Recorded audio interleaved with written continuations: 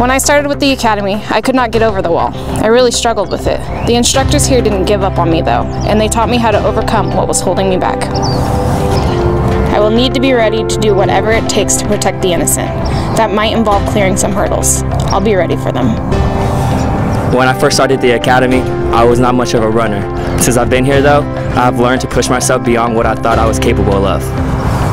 I push myself because one day soon, I will become a protector of my community. I might need to run to save someone. I might need to run to save you.